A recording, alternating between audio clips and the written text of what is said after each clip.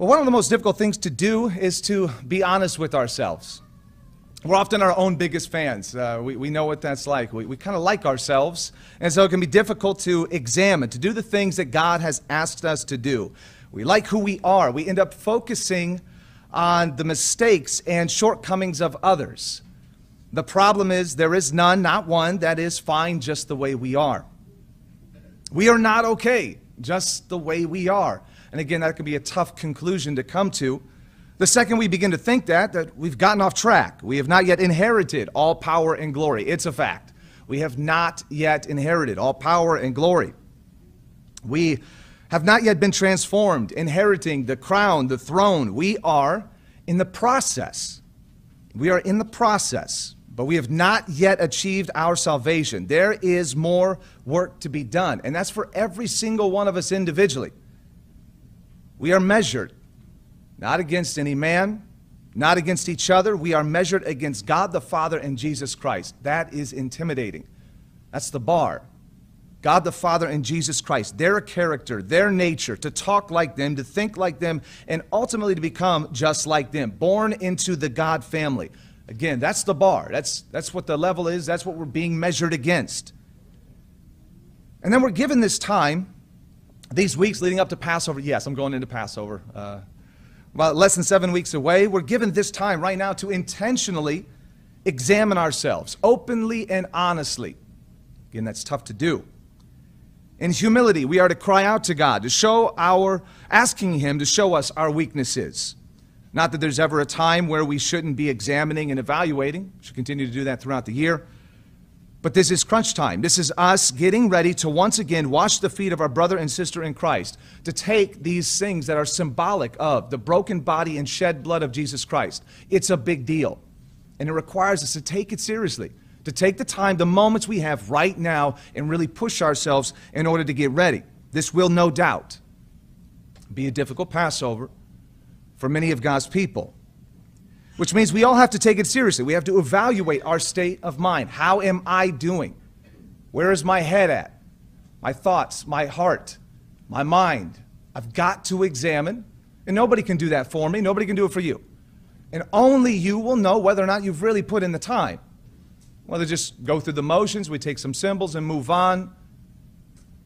It's up to us, every one of us individually as we prepare, we have to ask ourselves some tough questions. That's what the evaluation process is all about. Sometimes it's easier when you have somebody else examining or evaluating you. Perhaps they give you a checklist. You just kind of check these things off, be like, yep, fantastic, I'm doing awesome, I'm ready. But when we're talking about spiritual matters, we're talking about our actual character, how we live, how we think. It's difficult because, as we've already said, that we're our own biggest fans. It's hard to look inside, to dig, to uncover. Asking God to mercifully reveal to us sin in our own lives, it's hard to do. But that is what we've signed up for. Are we harboring anger, bitterness, contempt? It's easy to say no. No, I'm fantastic. I'm fine just the way I am. It's very easy to say, no, that's not me. That's not my problem. I'm doing great. But if we think about it, is there anyone you're leaving off your foot washing list? It's funny to imagine you have to walk in and see somebody else. You go, I will wash everyone's feet except that person. Could you wash anyone's feet? We're not talking about just here in this room, but perhaps anyone anywhere. Do we have the heart? Do we have the love that God Himself and Jesus Christ have demonstrated? Again, it comes back to us examining ourselves. How are we doing? We measure ourselves according to God the Father and Jesus Christ. Are we prepared to take that unleavened bread and the wine representing the broken body and shed blood of Jesus Christ? We will do this in a worthy manner or we will not. We cannot bury some sin or put it off again until next year. Sometimes that happens. Are there people we haven't spoken to in months or years? Family members, members of the body of Christ. Have we made every attempt, as much as it depends on us, to bring peace? Have we, or are we even capable of laying down our life for our brother or sister? laying down our pride, our ego, our arrogance, to embrace once again and open the door for a peaceful future. What is the character and nature of God? Is that our character and nature today? That's what this is all about. It really breaks down. It is that simple. Who is God? How does he think? How does he live? And who are we? And do these two things add up? Are we there yet? No. And so we get to work. Our title, if you'd like one today, For God So Loved the World. For God So Loved the World. I think it's one of the most difficult things to do in this life to fully understand and comprehend the level of sacrifice made by our father and elder brother. I have a difficult time considering it. When you go back to the facts of the matter, which we are going to start, let's go ahead and turn to John chapter 1. When we go back to the facts of the matter, we see exactly what has taken place, how God has described the events. We know that John chapter 1 and verse 1 is the beginning of the beginning, right? This predates Genesis chapter 1. John chapter 1 And let's go to verse 1. In the beginning was the Word, and the Word was with God, and the Word was God. This is, young people, you haven't uh, gone back and visited this, or you uh, haven't talked about it in a little while. This Word is representative of Jesus Christ. This is the same being that would be Jesus Christ, okay? In the beginning was the Word, the Word was with God, and the Word was God. He was in the beginning with God. Now, didn't he just say that? We did, right? We, he did. He said, In the beginning was the Word, and the Word was with God. And then in verse 2, he says, He was in the beginning with God. See how God repeats himself? I love when he does that because when he's doing it, he wants to make a point. Don't miss it. Don't skip over it. Go back. Yes, it does sound like your parents repeat themselves sometimes. Young people, that happens. And they're doing that to make sure you don't forget. Grab your clothes, grab your shoes, brush your teeth, get down the car.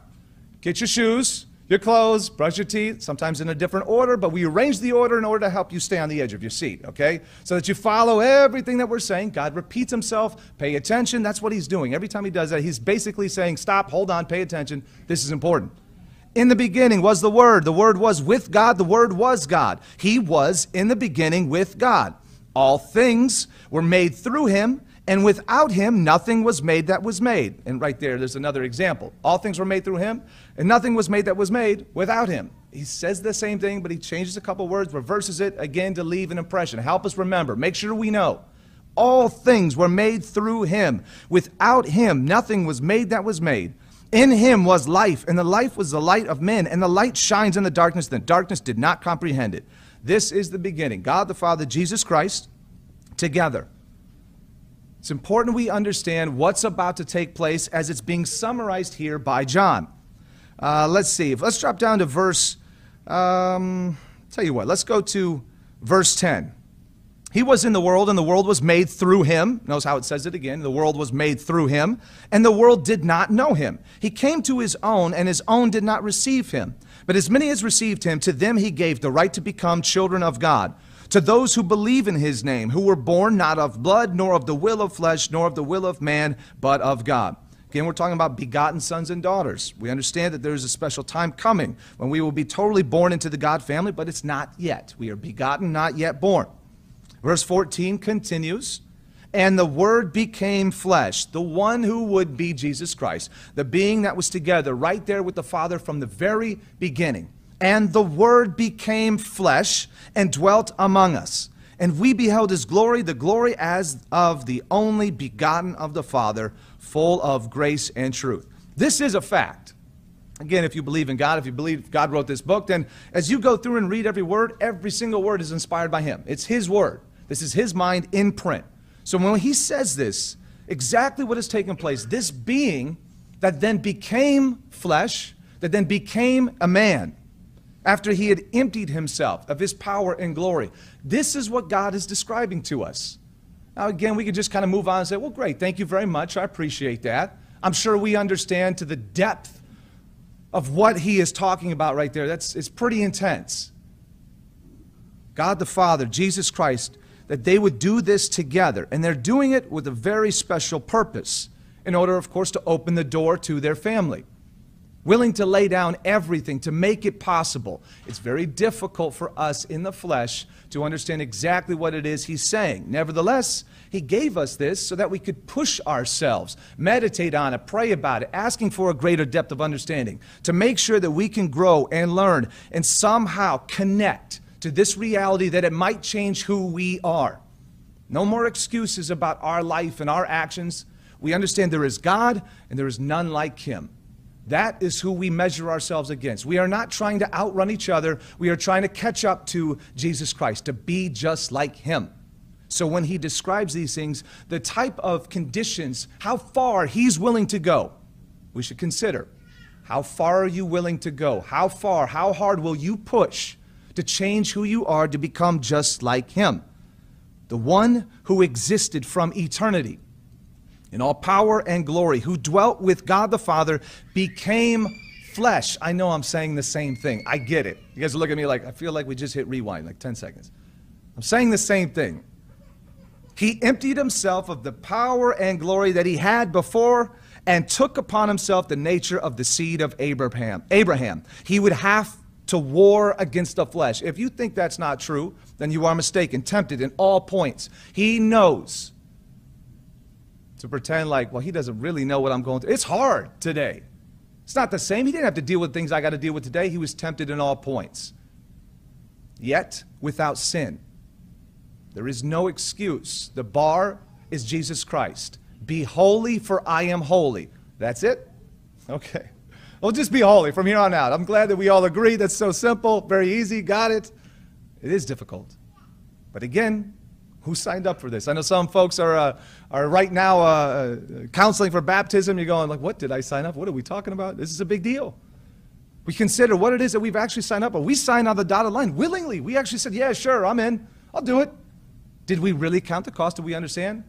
I don't know if there's really any of us who really understood in that moment before we were baptized. And every year that goes by, we go, I didn't see that coming. But here we are, continuing to dedicate ourselves to change who we are, to become just like Him. Let's go to Philippians 2. Read another account of this. Confirmation again of the process that took place. Philippians chapter 2. And we're going to go with verse 6.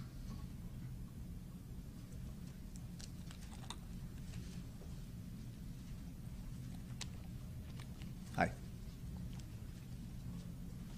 She's just sitting here like this in the front row. You guys can't see it, but she's just sitting here like this. She's watching, okay. Philippians chapter 2, verse 6. Let's go ahead and start in verse 5, just because it, it kind of describes the mind that is expected out of us. Uh, Philippians chapter 2, verse 5 says, Let this mind be in you, which was also in Christ Jesus. The same mind. Not a big deal. Again, just think exactly like Jesus Christ, okay? Let his mind, let this mind be in you. This is how you should think. Think this way. Who being in the form of God did not consider it robbery to be equal with God, but made himself of no reputation, taking the form of a bondservant and coming in the likeness of men. And being found in appearance as a man, he humbled himself and became obedient to the point of death, even the death of the cross. Therefore, God also has highly exalted him and given him the name which is above every name, that at the name of Jesus every knee should bow, of those in heaven, of those on earth, and of those under the earth, and that every tongue should confess that Jesus Christ is Lord to the glory of God the Father. When we look at this again, to see him emptying himself, make himself of no reputation, taking the form of a bondservant, coming in the likeness of men, being found in appearance as a man, humbling himself, think about what we've done in this life. Have we gone that far? There's a, a moment that it talks about uh, Paul saying, You've not yet resisted to bloodshed. You haven't gone that far. Jesus Christ went all the way, left everything. Again, how much did he really give up? To be God? Was there ever a chance that he could have failed? Well, no, no, Christ could have never failed. Well, that's not true. If he was tempted at all points, if that does, if that's the case, if Christ could not have sinned, then the whole thing is a moot point. The whole thing is worthless. It doesn't really mean anything, the sacrifice then. It's a big deal. The sacrifice works because it was possible. For him to do what he did open the door that our sins could be forgiven. So to see that he did this, to go through all of that, to give everything up for the chance that someone else would get an opportunity, not even knowing whether or not we do it or not. What was he hoping for? Two, three, maybe? I really hope somebody does it. And you and I, the, here's the gift. Here's the opportunity set right here before us because we read these verses and we actually know, we actually understand the truth, which is what a, a, such an incredible gift. A gift of understanding. The veil has been lifted. We can read this and it makes sense. It doesn't happen that way for the rest of the world. It's a gift of understanding that God gives. We can read these words. And so, do we look at this, consider it, and say, you know what? I got to change. This is what He did. This is what He wants me to do. Have we done it? It's a tough question. It's very easy just to go, yes, or very easy to sit in the chair right now, or for me to stand up here and be like, well, I'm talking to all of them. I'm awesome. Or for you to sit in that chair right now and go, I know he ain't talking to me, he must be talking to my wife, you know. Just kidding, my wife's not here. If you haven't noticed, the, the, the length of my facial hair tells you how long I've been away from my wife. The longer it gets, because as soon as I get home, she's going to be like, you better cut that off your face right now. I'll say, yes, ma'am. Yes, ma'am.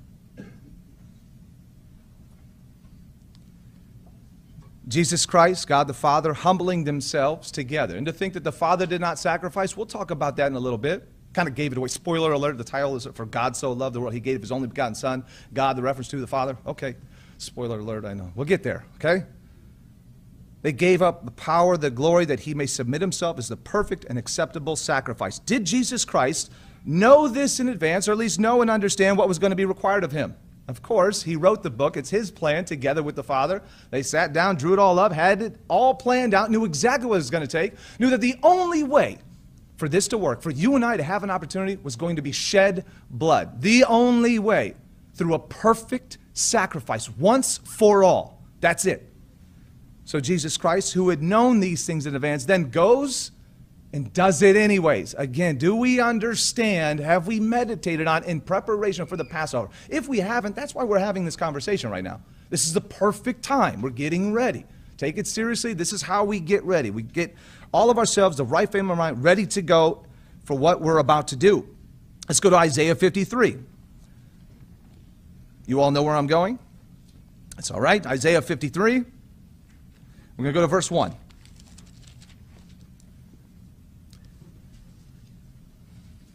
Did Jesus Christ know in advance what was going to be required of him?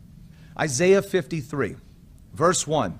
Who has believed our report, and to whom has the arm of the eternal been revealed? For he shall grow up before him as a tender plant, and as a root out of dry ground. He has no form or comeliness, and when we see him, there is no beauty that we should desire him. He is despised and rejected by men, a man of sorrows and acquainted with grief. And we hid, as it were, our faces from him. He was despised, and we did not esteem him. Let's stop for a second.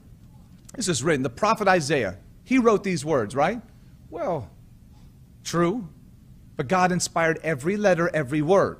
The one who would be Jesus Christ. He's helping him write these words. And keep in mind, this is not too far off. Jesus Christ, who has existed for all eternity, understands a clock is ticking at this point, knowing that he is getting very close to him coming in the flesh. The words that he's inspiring Isaiah to read, it's coming. He's getting very close. The moment of which everything hinges upon. Christ cannot come and fail. He's got to get this right. And he's writing about what's about to happen just a short length of time away when he says that there's no beauty that we should desire him, he's despised and rejected by men, he knew what was going to happen before it happened, and he was going to do it anyways. That's impressive, and that's difficult again for us to wrap our minds around.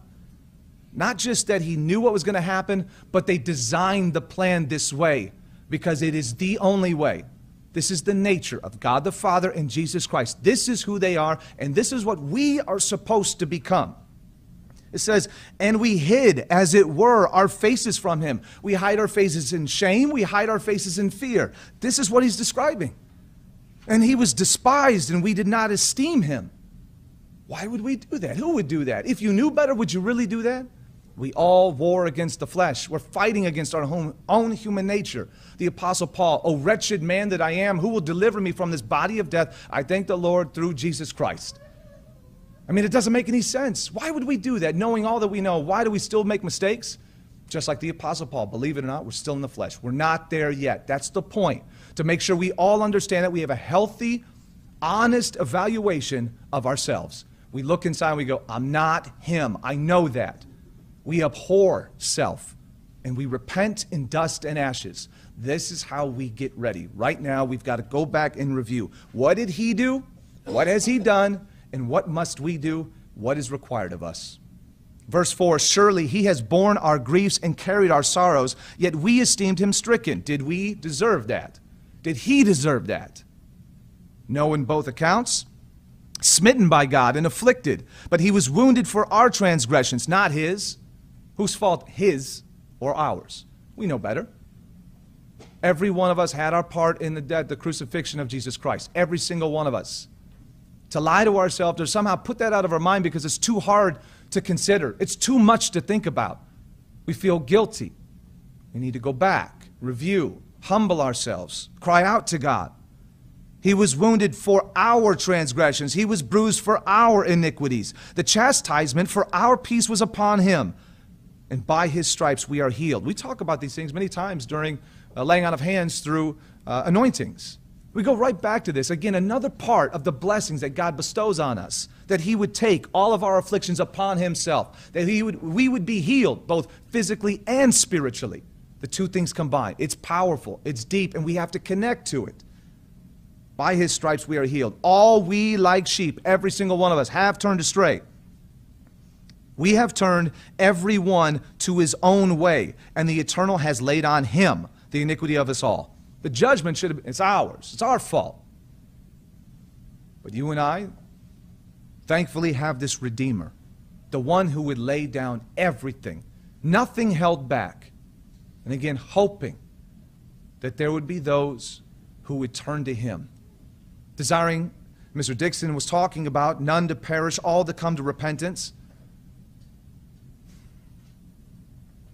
Verse 7 says, He was oppressed and he was afflicted, yet he opened not his mouth. He was led as a lamb to the slaughter, and as a sheep before its shearers is silent, so he opened not his mouth. Did he try to justify his act? Well, that's not fair. You can't do this to me. I didn't do anything. I don't deserve this. That's not what he did. Silent fulfilled his role, did his job. That's the expectation. Again, this is the example. There is God, there's none like him. We're trying to be like that. This is the only way for us. It's not an option. He's not just, well, I hope, you know, do your best, however you can figure this out. A little bit here and there, that's fine. It's not fine. It's all the way. We hold nothing back. Will we be perfect? It says the corruptible puts on incorruption. So, no, uh, you all know, we all know, but we will be fighting for it. We will never settle. We'll never make excuses. He says here again, He opened not His mouth. It's so easy. What? Could you, could you imagine Jesus Christ going on social media being like, You don't know what they did to me? Man, this ain't fair. It's not. What did He do? What does He expect of us? Look at what He did. Follow the example. He opened not his mouth. He was taken from prison and from judgment. And who will declare his generation? For he was cut off from the land of the living, for the transgressions of my people he was stricken. And they made his grave with the wicked, but with the rich at his death, because he had done no violence, nor was any deceit found in his mouth. Yet it pleased the eternal to bruise him. That is a crazy sentence. It pleased the eternal to bruise him? You imagine that? You ever talk to your parents as we spank our children? You say, This hurts me more than it hurts you. I love you, that's why I'm doing this. We want to shape their character, help them to change, give them an opportunity. God understood, He knew what this would do for us.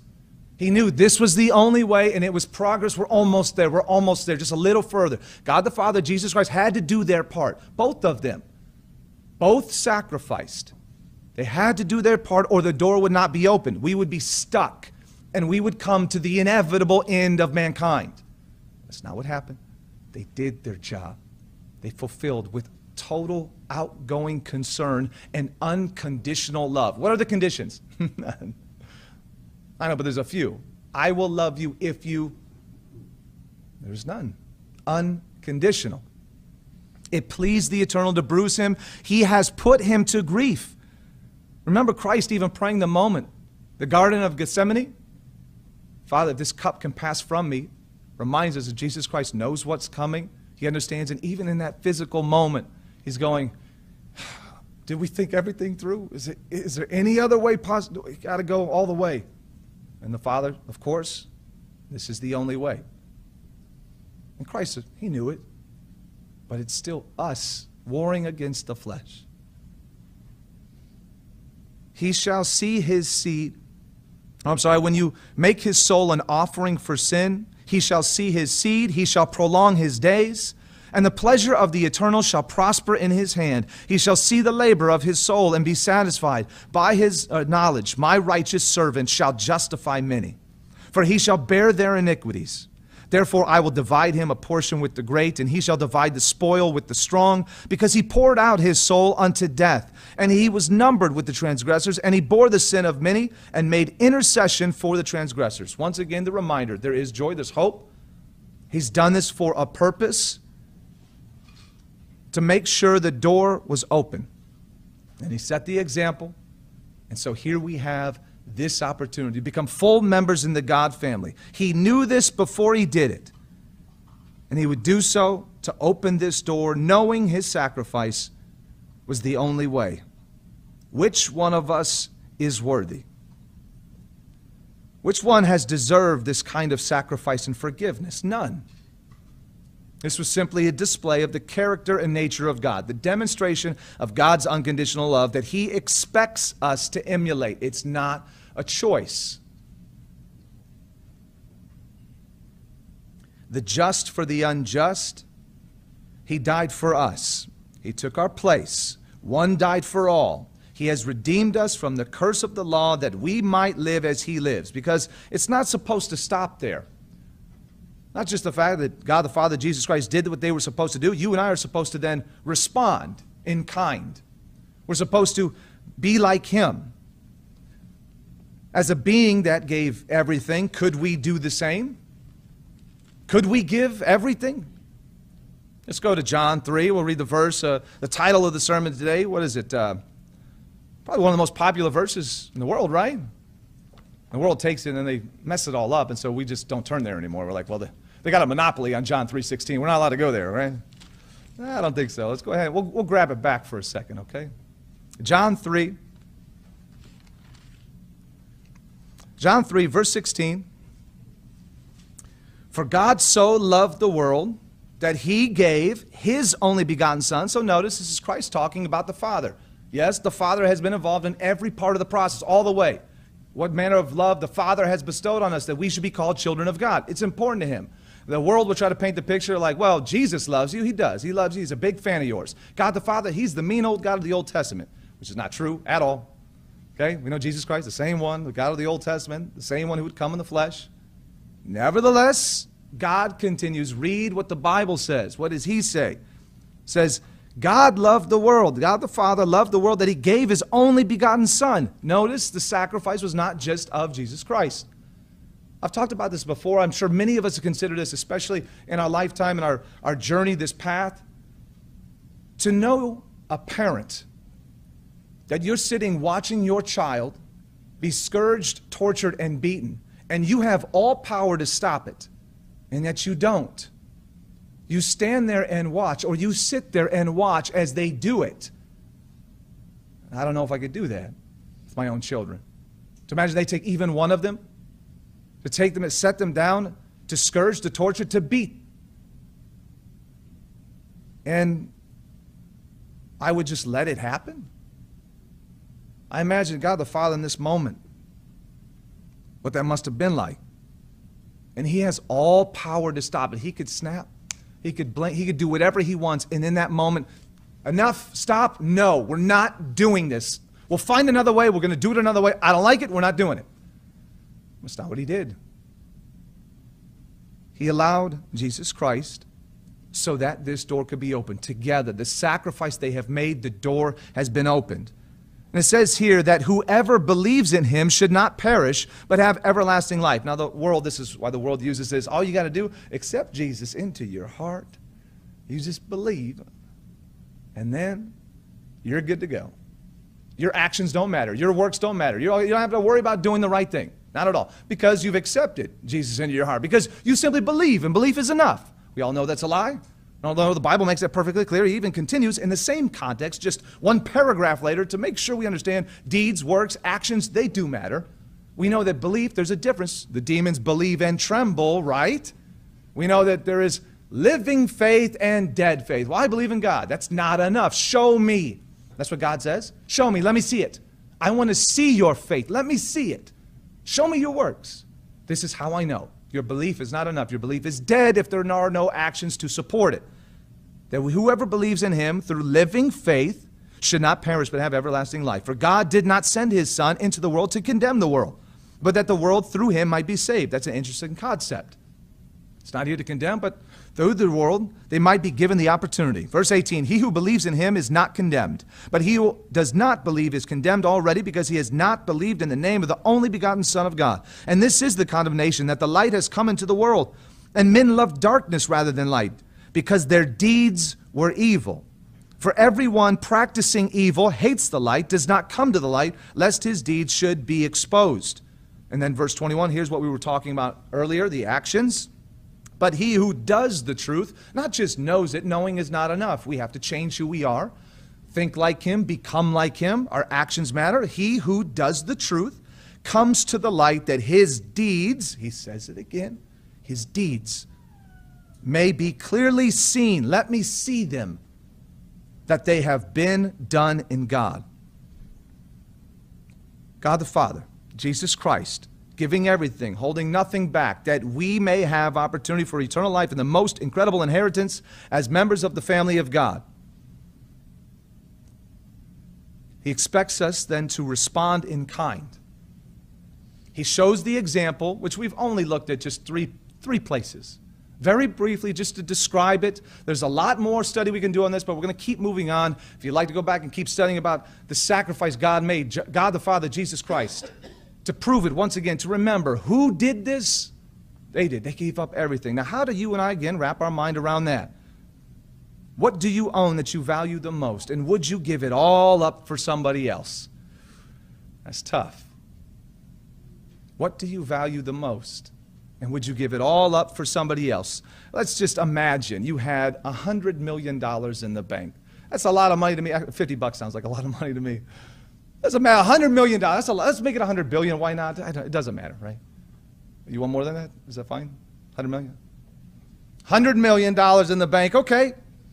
Would you set a match to it, burn it all, for the chance that another who didn't deserve it, who hadn't even asked for it, who after you had given up everything for that individual, would then kill you?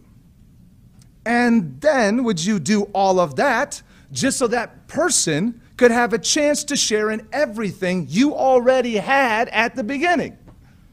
I had the $100 million. Why did I do all that? I could just kept and enjoyed the rest of my eternity. It's not what he did. Gave everything up. And you and I, how far would we go? What would you give up? Have you? Is there anything we're holding on to right now? We got to examine. We got to look inside. What are we doing? How are we living? How do we think? Do our actions represent the character and nature of God Himself? How far would you go? Would you give it all? For somebody else? Whew, I might do it for me or my kids. Somebody I don't even know? Somebody I don't even like?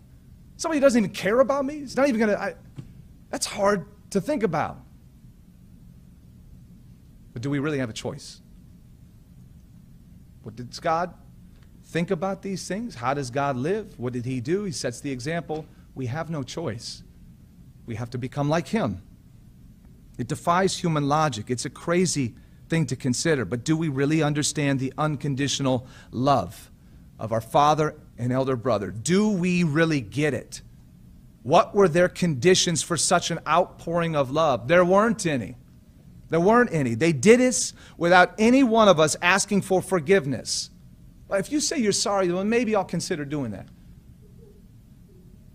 They didn't ask for an apology, they did it first, hoping then that we would take the right steps. None of us deserving of such love, and they did it anyways. Are we ready to do the same? This Passover, are we ready to lay down our lives, our pride, our ego, our vanity for each other and go all the way?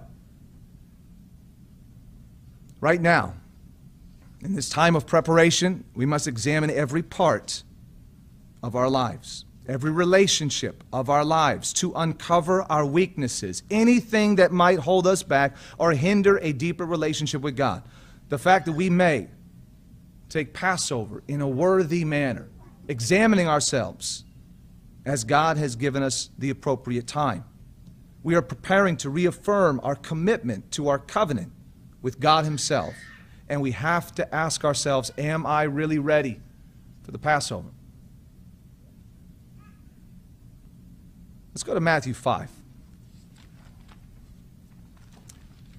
Are we just going through the motions? Are we just rehearsing symbols and tradition? Matthew 5, verse, uh, let's see here. Let's go to verse 21. Matthew 5. Are we going through the motions? Are we rehearsing symbols and tradition? I kept the Passover last year. I might as well do it again this year. I know somebody will notice if I'm not there. I got to do something. Matthew 5, verse 21, the Sermon on the Mount. You have heard that it was said to those of old, You shall not murder, and whoever murders will be in danger of the judgment. But I say to you that whoever is angry with his brother without a cause shall be in danger of the judgment. Whoever says to his brother, Raca, shall be in danger of the council. Whoever says, You fool, shall be in danger of Gehenna fire. Therefore, if you bring your gift to the altar, and there remember that your brother has something against you, leave your gift there before the altar and go your way. It's interesting. Stop. He said, Stop. Nope. Leave that right there. We got something to handle first. Before we get up, before that moment, we got to stop here for a second and consider is there any issue? Notice it doesn't say that, is there any problem you have against somebody else? It says if your brother has something against you. That's interesting. Be like, I don't got problems with nobody. I love everybody. Everybody's great. Is it the same way? Is it reciprocated? Is there an issue out there that we need to address at some point, some way, to say, hey, let's talk about this? If you bring your gift to the altar, remember that your brother has something against you. Leave your gift there before the altar. Go your way. Be reconciled first to your brother, and then come and offer your gift. Well, this is Jesus Christ talking. Does this matter? This is what he expects out of us. Did he say it just, well, you know, very specific cases? Was he talking about everything? This is what it takes. I mean, this is a big deal. These are the expectations of God. There's no, there's no arguing that. Again, it's in red in my Bible, right? That means it's Christ talking, so I guess we'll listen to this one. If it was in black, then we could like theoreticize, but Christ speaking it. Let's see if he keeps talking. This is the same chapter, verse 43. We're jumping over a lot, I know, but we got to do this for the sake of time. Matthew 5, verse 43 says, You have heard that it was said, You shall love your neighbor and hate your enemy. But I say to you, love your enemies. I guess we don't have to love our neighbor then anymore. That's, whew. There's only one or the other. We don't have to do both, right? Uh oh. Well, no, no, no. We know better. You shall love your neighbor. And he's saying, we got to go even further than that. I want you to love your enemies. Bless those who curse you, do good to those who hate you, and pray for those who spitefully use you and persecute you. Are you crazy? Did Christ do this? Did God the Father do this? Well, yes. Is that the example they set? Yes. Is that for us to do? Nah. I mean, when they change us, I don't got to worry about doing that now because I can't. That's too hard, anyways. I shouldn't even try. The expectation is for us to do it just like them. No excuses. Do we know better? Yes. If we're reading these verses right now and we've done it however many, a hundred times, thousand times, how many times we've gone through these verses, we can't argue. We know better. The question is, have we done it?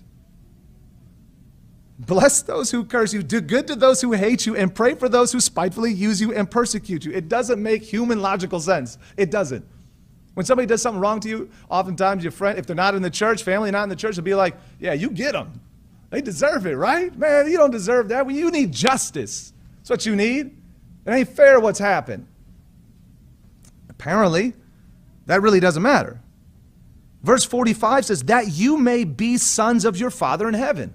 That's a big part of this right there. He's telling you, do it just like me. If you want to have any part with me, this is God talking again. If you want to have any part with me, then you're going to have to do these things that are seemingly impossible. You're going to have to do it just like I do it. If you want to be sons, that you may be sons of your Father in heaven, for he makes his sun rise on the uh, evil and on the good, and sends rain on the just and on the unjust. For if you love those who love you, What reward have you? That's easy to, well, you love me. That's, you're easy to love. But somebody who doesn't love you, you're going to go out of your way to love them? Maybe. I mean, I could say it. Yeah, I, love, I love them. I do. What kind of love? Are there any conditions? I'll love them as long as they, they're nice to me. I mean, what if they're not nice to you? Well, then I don't love them. I mean, this is an easy conversation. I love this. This is great. What does he say? You love them unconditionally. What are the conditions? That's the point of unconditional love. There aren't any. That's tough to do. If you love those who love you, what reward have you? Do not even the tax collectors do the same? Every, the world does this. They don't know the truth. They don't have a measure of God Himself dwelling in you, dwelling in me. We have that power inside of us, and we're supposed to use it and increase in it and do the things that defy logic because that's what He expects. And if you greet your brethren only, what do you do more than others? Do not even the tax collectors do so? Verse 48, this verse is ridiculous. Uh, Therefore, you shall be perfect, just as your Father in heaven is perfect. Uh, again, these are the expectations. Oh, is that all? Be holy, for I am holy. That's it. You shall be perfect, just as your Father in heaven is perfect. That's what He expects. If you don't like it, then go and do something else. Forget all it. Don't waste your time. Go play golf on Saturday. Go do whatever it is you want to go work. Go do what, whatever it is, because it doesn't matter at that point. It doesn't. Either we're all in and we're just like this, we're going to commit ourselves to this way of life, or we're not. And it's all just a game. And we have the version of righteousness, or we have the forms of godliness. Perhaps we have something like a whitewashed tomb, but inside are dead man's bones. We look very religious, very holy on the outside, and people see us put on ties and go to church on a Saturday. And wow, they got some weird traditions. They keep the Passover. What are they, Jewish? They understand these people must be very religious. Show me, God says. Be perfect just like me. Let me see your actions. Does it reflect my nature? When they see us, do they see God? I'm afraid I've probably disappointed quite a few quite a few times in my life.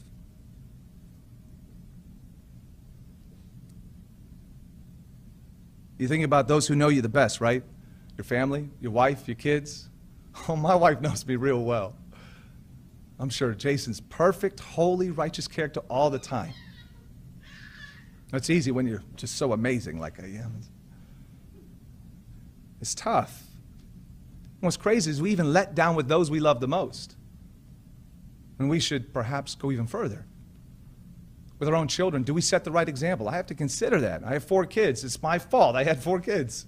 It's my responsibility to set the right example. They're going to know. It's just a game. Yeah, he gets up there and he speaks for an hour, but you guys don't know him like I know him. I think about these things. Do our actions line up with our words? That we have pushed ourselves to be like Him, unwilling to compromise the Word of God so that we may be just like Him, to be perfect just as our Father in heaven is perfect. Reconciliation isn't convincing the other person that you're right and they're wrong. It's opening the door for peace, extending mercy, compassion for another, giving the benefit of the doubt. This happens. We have moments where we don't give the other the benefit of the doubt. Very quick to judge, very quick to, to come to anger, to points of contention. It happens. Let's imagine a, a totally ridiculous scenario. Let's imagine that um, uh, I've been driving, I'm on the road, been a long day. My wife's uh, been home. She's, oh, we got four kids. She's got laundry. And you know, when you're folding laundry, like little kids' laundry, some of you know exactly what I'm talking about. Little kids' laundry is the most unstable laundry. It just falls over. You try to stack it up and it just falls over because nothing folds the right way, and I hate it. I hate it. These little tiny pants, and they just, oh, they just fall over, and I hate it. It needs to be bigger, but if it's bigger, then it doesn't work. No, I'm sorry, I'm getting distracted. Okay, she's folding the laundry, laundry, mountains of laundry, because that's what we got, and it's to the ceiling, right? And you got all these stacks. She's got all laid up on the bed, looks great. Totally hypothetical scenario, by the way. So I got it all laid out, and I come home, not paying attention, not thinking, I'm tired, okay? I'm walking in, going to take off my coat, take it off. I toss it aside on the bed, hits the bed, and then the worst possible scenario takes place, okay? Because I didn't see, which you think, how could you miss the mountain of laundry that's there, all folded, stacked neatly, there's piles to the ceiling, and a domino effect takes place. Cling, ting, ting, the whole thing just starts knocking off. Everything falls over, total mess, right? But I never see it. So as I leave the room, go back out, do whatever, I, I am totally oblivious, hypothetically, not me, but we're saying hypotheticals. Somebody out there, imagine a scenario, somebody out there totally oblivious to this thing, and then what happens? The wife comes in, sees this thing, and she has two options here, right? Look at this and go, Oh, my husband, he loves me so much. I know he would never, ever do that on purpose because his love and care, outgoing concern for me, he would never allow that to happen. I know this must be some crazy mistake. I bet it was one of the kids. I bet you was one of the kids. Or, how dare he? He did this on purpose. He came in knowing all the work I put in here and destroyed it. Because he doesn't love me, doesn't care about me. I, nothing about what I do, doesn't respect who I am. Every one of us have to consider these things, these moments. There are always opportunities, especially in our relationships. Our relationships are a big part of our life. The interactions we have with each other. Are we willing to give each other the benefit of the doubt? Will we go as far as it takes? Can we make room for repentance? Have we left any room in there, even for the other? Would my wife, uh, uh, hypothetically, with this woman, would she leave room for repentance of this man or condemn him in judgment? How dare you be gone? Would you leave room for repentance? Can we give time for each other? Maybe I need to pray and fast about how I throw my coat. I hope you see the analogy we're over and over, how far we take it. Will we leave room for repentance of the other individual? We, we give them time to eventually evaluate, to consider these things, to make changes, to eventually be on the same page. And if God is working with us and we submit ourselves to this way of humility with a poor and contrite spirit, which fears God, trembles at His word, absolutely. If we do that, there will be room. In that case, as God continues to shape and mold us eventually, He will make it clear but only if we remove our pride and arrogance, if we can see ourselves, examine, if we can evaluate, if we can give room for repentance, if we can give the benefit of the doubt, if we can give that outpouring of love, care, and concern, if we can stay focused on working that plank out of our own eye, because that's what God expects us to be working on. The only people you can control in this room are yourselves, myself. That's all I can control, the actions I take, my mind, my heart, my attitude. We can try to inspire that in others, to exhort, to edify, to strengthen. But the bottom line is every one of us makes an individual decision about every choice and every relationship, every aspect of our lives. So, knowing all of this, what is our responsibility as we remember this reality, the crucifixion of Jesus Christ? We keep going back and putting all of this together his shed blood, broken body. Are we tasked, again, to reaffirm the covenant we made? Of course. And we must continue our commitment to live a life just like him. We don't have a choice. Let's go to Acts 7. Acts 7, we're going to talk about Stephen. You know what I'm doing here. Acts 7, we're going to go to verse 54. After Stephen's address, right?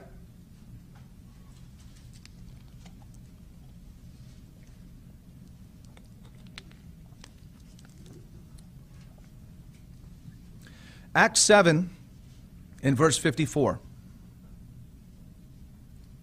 It says here, when they heard these things, Acts 7, verse 54, when they heard these things, they were cut to the heart and they gnashed at him with their teeth.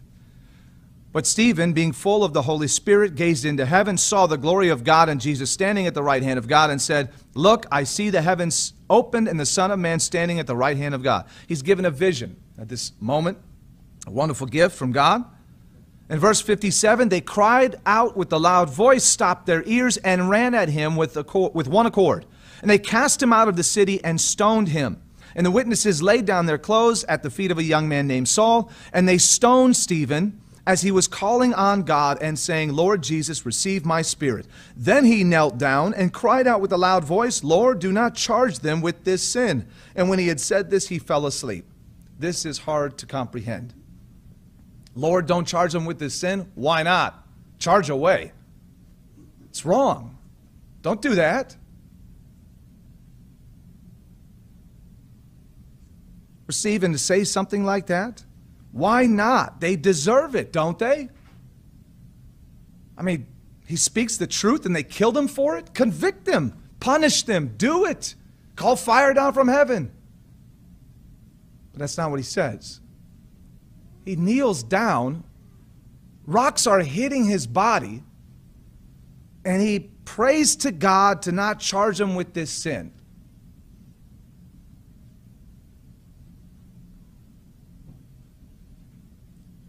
Again, it's tough to consider the expectations. Who are we, and what does God expect of us? Are we willing to change our lives, to be different, to push, to go to this level? Are we there? Many of us have talked this, about this in the past. I know I have. I know I've mentioned this many times ago. I'm not there yet. But to evaluate, to examine, and say, okay, I got to get there. Stop making excuses, Fritts. Get to work. We look at these things and say, okay, I got to do better. I, I have no choice. How much time is going to go by before I begin to make big changes in my life? Every one of us, that's what we're thinking, right? Every one of us right now, again, in preparation for the Passover, not just the Passover. Yes, this is a special occasion, it's a big deal. But we're trying to prepare to meet God. We're going to become God. We're going to have our life changed to be something so incredible. We got to get ready. And things are not going to get easier. It's not all going to go away. We're all just going to go, that's fine. Got another 50, 100 years, who knows? Time will expire, and we need to get ready. And things are going to get more and more difficult. So we must prepare. We must get ready. We have to ask these questions now. We cannot wait until the last second go, okay, okay, okay, I'll do the right thing now. Now's a good time. I was, it's too hard before. I didn't really want to do that. But now I have no choice because here comes Christ. Well, now it's too late. He's knocking. We didn't answer. We have to open the door today. Let's go to Matthew 18.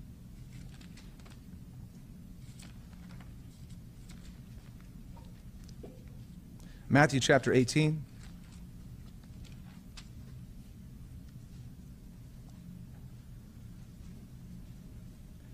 We'll go to verse 21. Here Christ is talking. Initially, he's talking about becoming as little children. Again, the humility, humbles himself as this little child, is greatest in the kingdom of heaven. Whoever receives one little child like this in my name receives me. And Christ gives us perspective about what he expects out of us, the humility. It's one of the best parts. I've often talked about Mr. Munson the same way. Uh, just really enjoy it. You work with young people, they don't have all the answers yet. They still go, yeah, you know, I got to fix that. I could change that. I've had uh, uh, different times that uh, young people make major changes in their life because they simply want to do the right thing and they're hungry just to get at it. I'm talking about that humility that you know, we keep examining, keep evaluating. And we come down to verse 21 as they've, they've heard all this, talking about personal interactions and relationships, how to govern these things, what God expects out of us. After all of this has been said, we come to verse 21 where Peter asked Christ a question. He says, Then Peter came to him and said, Lord, how often shall my brother sin against me and I forgive him? Up to seven times? I love it. I love it. That's actually probably more than I would have done. Like seven, that's a lot. But Peter's probably like, that's a number of perfection. This is going to be good. God's going to love it. Christ is going to think this is awesome. I came up with this all on my own. Seven times, that sounds good. It's a good round number. Fantastic. And Jesus says to him, verse 22, I do not say to you up to seven times, but up to 70 times seven. I can just hear Peter right now, because if I were Peter, I would have been saying this right now. Okay, so 490. Got it. This is, whew. so I've got 428 left. Fantastic. And I, and I'm only thinking, I can't wait to meet, to meet Peter. Um, I know myself. I know how I would be thinking that moment, just counting them down. Like, I'll give my wife one more get out of jail free card. You're running out, baby. 490. Oh, boy, I tell you what. Oh, man, I've been away from home for too long. I'm going to get home. She's going to have this long list of things we need to talk about.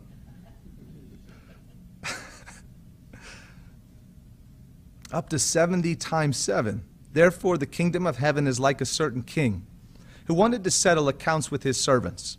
And when he had begun to settle accounts, verse 24, one was brought to him who owed him 10,000 talents. But as he was not able to pay, his master commanded that he be sold with his wife and children and all that he had, and that payment be made. The servant therefore fell down before him, saying, Master, have patience with me, and I will pay you all. And the master of that servant was moved with compassion, released him, and forgave him the debt. But that servant went out and found one of his fellow servants who owed him a hundred denarii. It laid hands on him and took him by the throat, saying, Pay what you owe. Now, there's a major discrepancy between these amounts of money. Verse 29 So his fellow servant fell down at his feet and begged him, saying, Have patience with me, and I will pay you all. And he would not, but went and threw him into prison till he should pay the debt. It's what he deserved, right? Justice. Verse 31 says So when his fellow servants saw what had been done, they were very grieved and came and told their master all that had been done. Then his master, after he had called him, said to him, You wicked servant, I forgave you all that debt because you begged me. Should you not also have had compassion on your fellow servant, just as I had pity on you? And his master was angry and delivered him to the torturers until he should pay all that was due to him. So my heavenly Father also will do to you if each of you, from his heart, does not forgive his brother his trespasses. You can see here, this, is not a game with God. It's not a suggestion. It's not wishful thinking. He's not hoping that maybe we'll take the right steps. He's telling it these are real things we're talking about. Real change matters. We've got to do things differently. We've got to push ourselves beyond our own human nature. We cannot settle for who we are and what we are, as much as it depends on us. We must seek peace with all our brothers and sisters in the begotten family of God. Seek peace with all men, every man, woman, and child on the planet. As much as it depends on us, we want to be at peace with them. To make sure that they know that, that we have that outgoing concern, that love, that care. Not just words we say on a radio program or television or a YouTube video or something like that, but that our actions represent our words, where they can see a difference between these things. Now, these people are not just somebody who talks a good game, but in their actions, I see something that's different. That they should look at us and see God. Let's see what time. A few weeks ago, we talked about uh, Esau and Jacob. Actually, it was longer than that. It's one of my favorite stories. We're not going to go through all of it today. I had in my notes. I figured we'd just go back and check it out again. But honestly, that moment of Esau and Jacob, everything they had been through, the deception of Jacob, what he had done, stealing from his brother, the lies, the deceit he made with his father. Esau's rightfully going to kill him, or at least in my mind. He's like, he kind of deserves it. But it wasn't the character of God. Nevertheless, the parents find out. They ship him off, ship Jacob off, and there he's gone. Talking over 20 years before the two of them come back together. And so let's go ahead. We'll just read that part of it. As Exodus, or uh, I'm sorry, Genesis chapter 33. Genesis 33. Let's just look at that part, just at one moment. Genesis 33 and verse 4. This after all that time, they're finally coming back. Here's Jacob and he sees Esau far off, and then he's trying to figure out all the gifts he can add, and he's trying to put the kids up in different orders and who's going first and who's going second. Genesis chapter 33, verse 4. But Esau ran to meet him and embraced him and fell on his neck and kissed him, and they wept.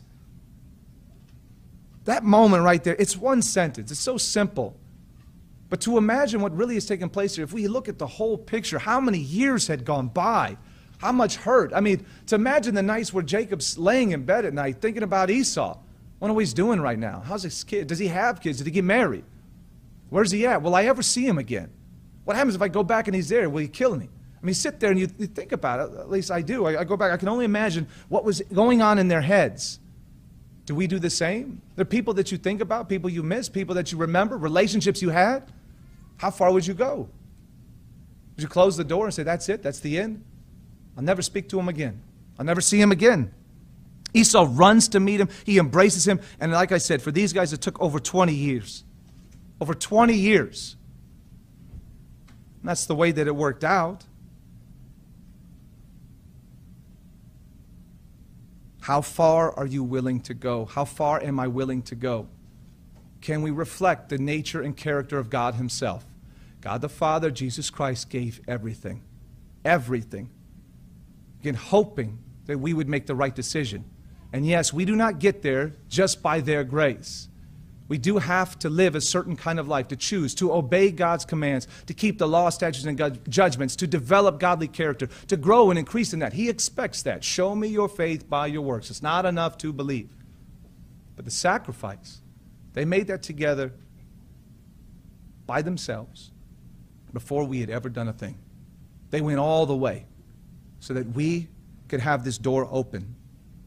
Even in times when we disagree within our family, we can all together pray for this moment to come. This moment right here, where they embrace once again.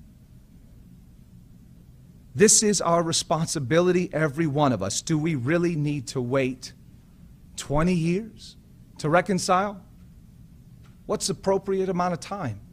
How long? With the people you love the most? As much as it depends on us, we must seek peace with all.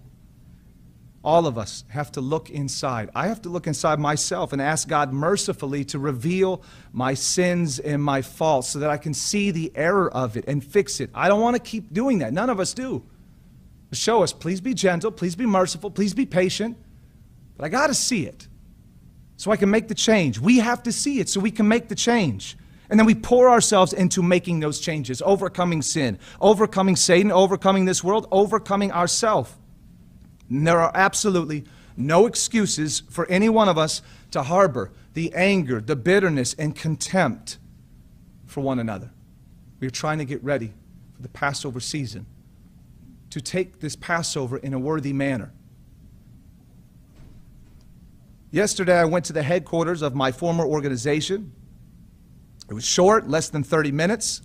I wasn't asking for anything in return, not to argue or debate. This was something I had to do, knowing in my heart it was not, I was not in the right frame of mind. I know that about myself. I can look inside myself. Approaching the Passover, I know that something's wrong. I simply wanted to look at my brother together in the eye and tell my brothers in Christ that I love them not just words, but to really mean it. That we are family regardless of our disagreements. That's a fact. No, we are not on the same page. We're not. Nevertheless, I very much look forward to a day when God makes all these things clear as He shapes and molds us in His image with mercy and compassion on us all. And in the meantime, Every one of us must move forward with humility and love, with outgoing care and concern for our family, that we pray for one another. Keep the doors open to reconciliation, even when we disagree. Do we disagree? Yes. We're not on the same page. But we'll never talk to each other again. Will that end the relationship forever? What does God expect of every one of us individually, as much as it depends on me, as much as it depends on you. How far are we willing to go? Again, that we would pray for one another and keep the doors open to reconciliation even when we disagree. That we want every one of us in His kingdom together. And that should be said of every organization in the faith. Even while we disagree in certain matters, we are still family. One body, one spirit, one hope, with one Lord, one faith, one baptism, one God and Father of all, who is above all and through all and in us all. Either He is or He's not. How can we stand before God and give an account of all that we have done and all we are unless we have done absolutely everything in our power to demonstrate the unconditional love of God? And that's up to every one of us, every, every individual, every one of us differently. I know myself. There are certain things that all of us have to do if that's an issue we have. This, again, is not a game. And we cannot just go through the motions. Some symbols, some bread, some wine, and just move on. We can't fake it, it has to be real. The one who searches our heart and mind, he knows the difference. We will not fool him. To forgive one another, heartfelt, sincere, it has to be real. Again, that our love be unconditional. No conditions, no excuses. John 13. John chapter 13.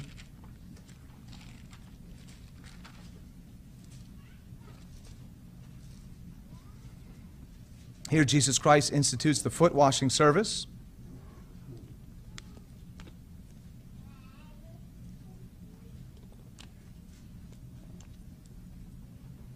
John chapter 13 and verse 1.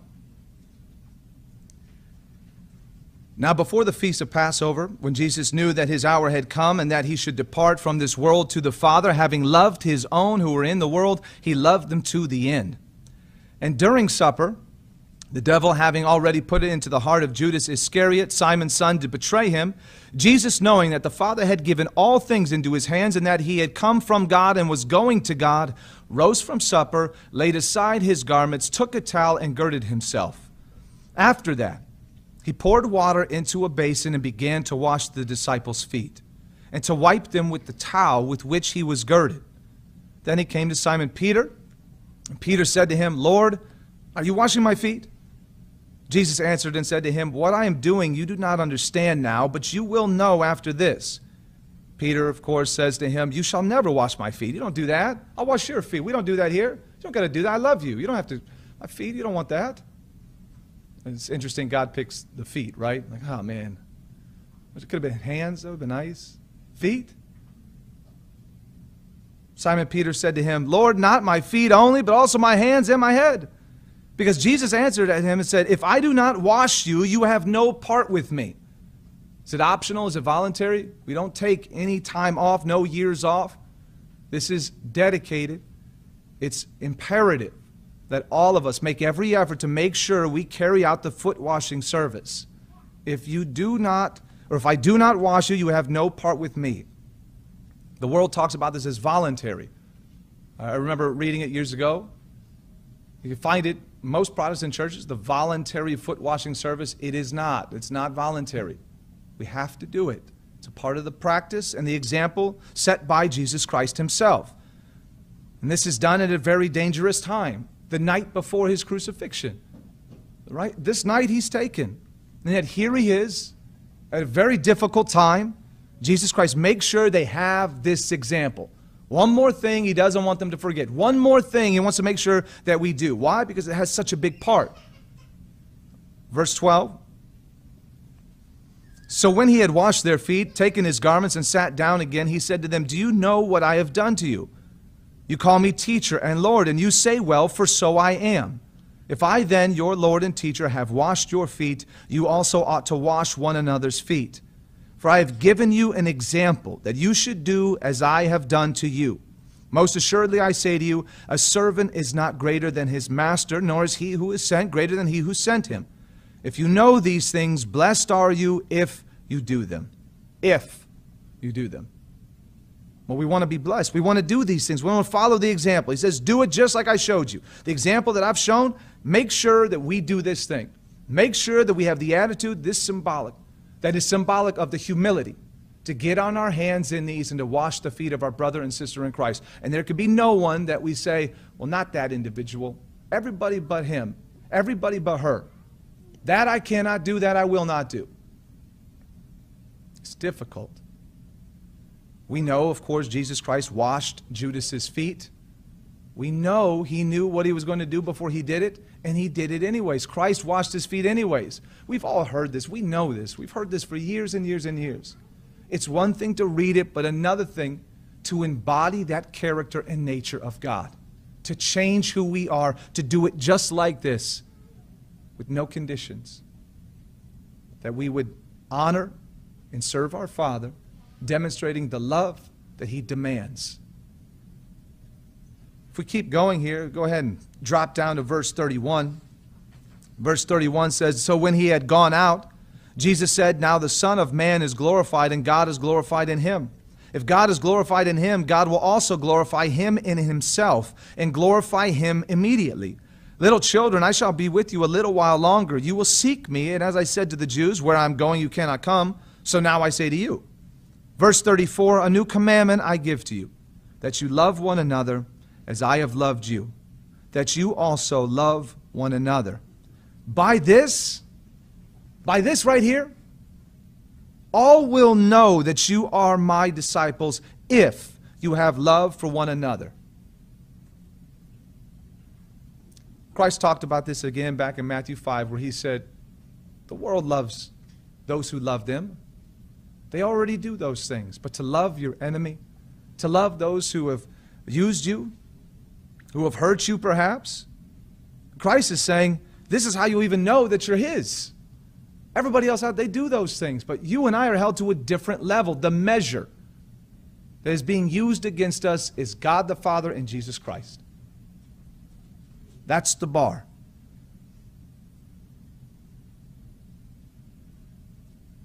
Love one another as I have loved you, that you also love one another. And by this, they'll know. We're different. The world will see us and see him. Christ continues talking about that right here in John chapter 14. If you look at verse 7, this is the same context. Remember, we're not seeing a big break here. It's not like this is uh, six months later, of course. The same night. It's a few moments later. John 14, verse 7. If you had known me, if you had known me, you would have known my Father. Uh, and from now on, you know him and have seen him. Philip said to him, Lord, show us the Father, and it is sufficient for us. Again, just, wait, wait, I didn't see him. Did anybody else see him? Did we miss it? What happened? Where did he go? Was he here? I didn't see it. I, I, I stepped out of the room for five seconds. I come back. Philip says, Lord, uh, would you show us the Father? It's sufficient. We're, we're with you. We're on the same page then. Jesus said to him, Have I been with you so long and you have not known me, Philip? I mean, how, long, how much time do I have to spend with you? He who has seen me has seen the Father. So how can you say, Show us the Father? Do you not believe that I am in the Father and the Father in me? You and I, every one of us individually, do we have that measure of God the Father dwelling in us? When they see us, have they seen Him? It's yes or no question. Either it's true or it's not. If it's not, examine, evaluate, fix it. Make sure every one of us, we're going to every last effort do you not believe, again, verse 10, that I am in the Father, the Father in me? The words that I speak to you, I do not speak on my own authority, but the Father who dwells in me does the works. Believe me that I am in the Father and the Father in me, or else believe me for the sake of the works themselves. For them to be able to see God the Father, for them to be able to see, and I'm saying the world, our family, not in the church, our children, they, they see us and see a glimpse of the coming kingdom. That is the expectation that we have to be something so special, to be a representative of God on earth. And again, we know how hard this is. Uh, this is a whole difficult subject to look at, especially when we're going back to seeing the character and nature of God, and then you go, that's too much. I don't know if I could do that. I mean, how will I ever have that kind of strength and power? How, how could I do that? It's already dwelling in us. We have to stir it up, we have to use it. God says, Try me these things. In that moment in Malachi, he's talking about tithe, but tithe is just an example. If we obey God, try Him out. Watch how it works. It works. You cannot deny it. The promise has been made by the Father. If we obey, if follow His instruction, we do what He says, we will be blessed. God's way works. But we have to do it, even when it's very difficult. Just a couple more. We'll wrap up Hebrews chapter 9.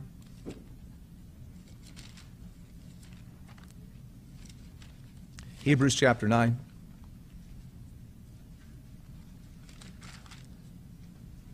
Verse 11.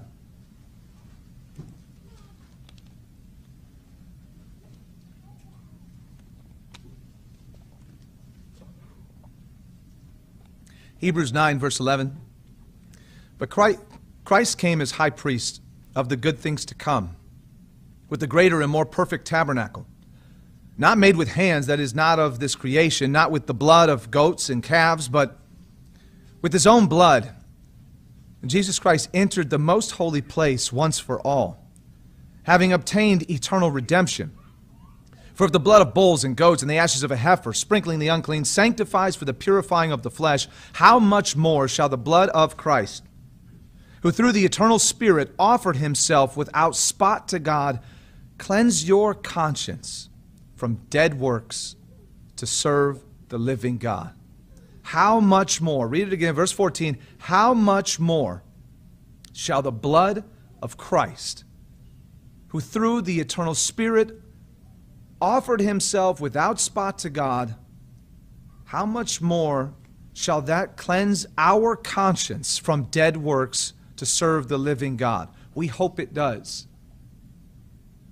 When we read these things and consider that shed blood is there to give us an opportunity to receive a measure of God, that our conscience would be cleansed, that we could change from this life of dead works, of walking as a man, of walking according to the flesh, to put away those things and put on Christ, to put on God, the character, the nature of Him.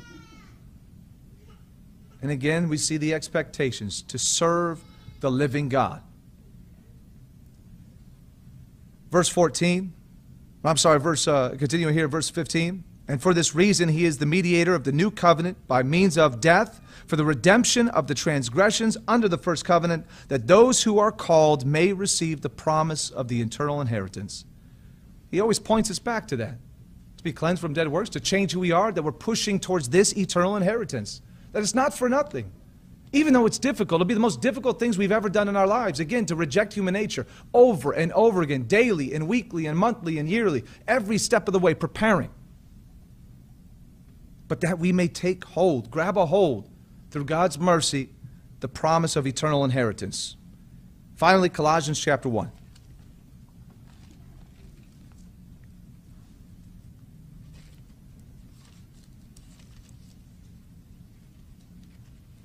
Colossians chapter 1, verse 9.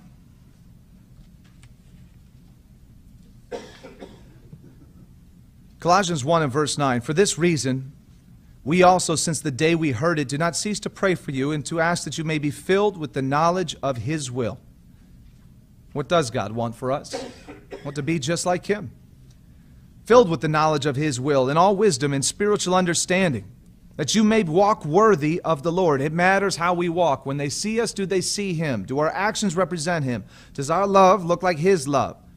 That you may walk worthy of the Lord, fully pleasing Him, being fruitful in every good work, and increasing in the knowledge of God, strengthened with all might, according to His glorious power, for all patience and long suffering with joy, giving thanks to the Father who has qualified us to be partakers of the inheritance of the saints in the light. He has delivered us from the power of darkness and conveyed us into the kingdom of the Son of His love, in whom we have redemption through His blood, the forgiveness of sins. This, this reality cannot be changed. God the Father, Jesus Christ, they did what they set out to do.